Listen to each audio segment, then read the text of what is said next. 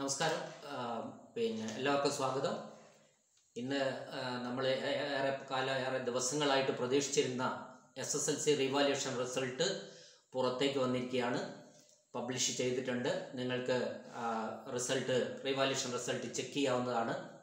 പരീക്ഷാ ഭവന്റെ ഔദ്യോഗിക വെബ്സൈറ്റായ Pareeksha Bhavan dot Kerala dot G O V dot in എന്ന വെബ്സൈറ്റിലും ഐ എക്സാം എന്ന് പറയുന്ന സൈറ്റിൽ S S L C exam dot Kerala dot G O V dot in എന്നീ സൈറ്റുകളിലൊക്കെ തന്നെ ഈ റീവാലുവേഷൻ റിസൾട്ട് ലഭ്യമാണ്. ഞാനിപ്പോൾ ഐ എക്സാമിന്റെ സൈറ്റിലാണ്. ഞാൻ റിസൾട്ട് നോക്കിയിട്ടാണ്. ഐ എക്സാമിന്റെ സൈറ്റിൽ നമ്മൾ എസ് എൽ സി റിസൾട്ട് നോക്കുന്ന അതേപോലെ തന്നെ നമ്മൾ രജിസ്റ്റർ നമ്പറും ഡേറ്റ് ഓഫ് ബർത്തും കൊടുത്ത് നോക്കിയിട്ടാണ് ഞാൻ ഈ വീഡിയോ ഇടുന്നത്.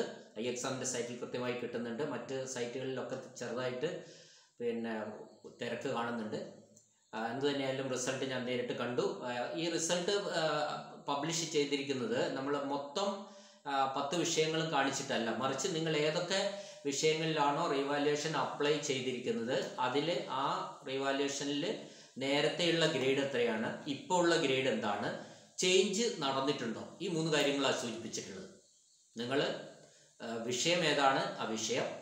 പിന്നെ നേരത്തെയുള്ള ഗ്രേഡ് ഇപ്പോൾ മാറ്റം വന്നിട്ടില്ല. റിവാലുവേഷന് ശേഷമുള്ള ഗ്രേഡ് എന്തെങ്കിലും മാറ്റം വന്നിട്ടുണ്ടോ? ഇത്രയും കാര്യങ്ങളാണ് ആ റിസൾട്ടിൽ ഉണ്ടാവുകയുള്ളൂ. മൊത്തം വിഷയങ്ങളുടെ ഗ്രേഡ് അല്ല ഉള്ളത്. റിവാലുവേഷന്റെ മാത്രം നമ്മൾ കൊടുത്ത വിഷയങ്ങളിൽ ഉള്ള ചേഞ്ചസ് എന്തെങ്കിലും ഉണ്ടോ?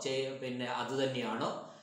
വിഷയം നേരത്തെ ഉണ്ടായിരുന്ന ഗ്രേഡ് പുതിയ ഗ്രേഡ് ചേഞ്ച് ഉണ്ടോ? ഇത്രയും കാര്യങ്ങൾ സൂചിപ്പിച്ചുകൊണ്ടുള്ള റിസൾട്ടാണ് വന്നിട്ടുള്ളത്. പിന്നെ വളരെ കാര്യമായിട്ട് എല്ലാവരും നോക്കുക. എല്ലാവർക്കും ഗ്രേഡുകൾ ചേഞ്ച് ഉണ്ടാവട്ടെ എന്ന് ആശംസിച്ചുകൊണ്ട് നിർത്തുന്നു. നന്ദി നമസ്കാരം.